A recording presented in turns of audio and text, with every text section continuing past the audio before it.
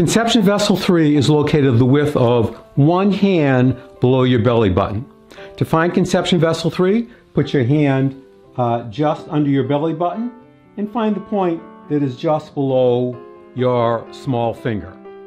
Press in to find a spot that is sensitive, sore, tender, or painful. That is conception vessel 3. Activate this point by rubbing it five times quickly. Take a break for a count of five and repeat four more times. It might look like this.